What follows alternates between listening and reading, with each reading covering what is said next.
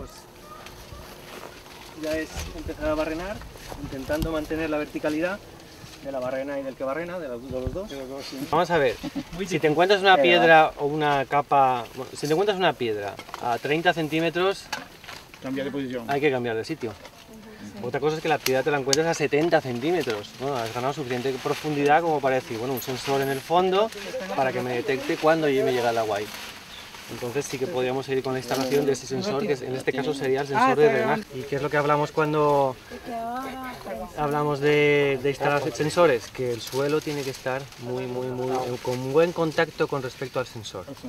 Aquí el sensor lo tenemos en, eh, al final, pero pensado en lo que instalaremos en donde Janet el viernes, tiene sensores cada 10 centímetros, con lo cual esto es como si no hubiéramos hecho nada. ¿Qué pasa en estas circunstancias? Hay que ponerle Pues, algo ahí. Hacer el, el slurry, el El barrillo. La idea es hacer un barro fino, Ah, por eso ok. tamizamos la, Porque la tierra y es una pasta muy fina, porque si haces bien. un barro puede ser que un barro hago con piedras. Como un limo, es eso. Exacto, Yo no le hice es mucho un- caso. como una, como una lechada. Tal vez un poquito más de periodo seco, es que estamos viendo si quieres rolear. Un poquitito. Yo estaba pensando en lo mismo. Yo también. Los suyos hacen eso bien. Voy a poner amitas. eso. Por eso es mejor venir, ¿verdad? Por eso tiene que estar muy líquido.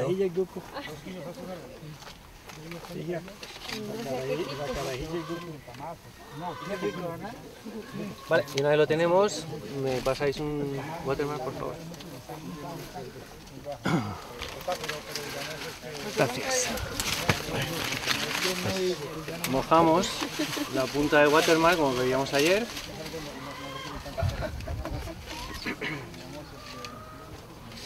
Ahí tengo yo anotado la peso. Insertamos. Y una.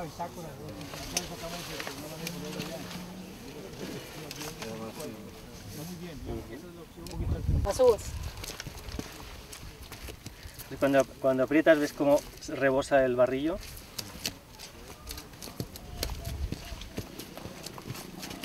A ver, si estamos hablando de, vamos a poner tres sensores y estamos hablando de aguacate, el otro lo hemos puesto a unos 20 centímetros, pues podríamos poner, tenemos uno a 70, pues 70, 50 y 20, por ejemplo.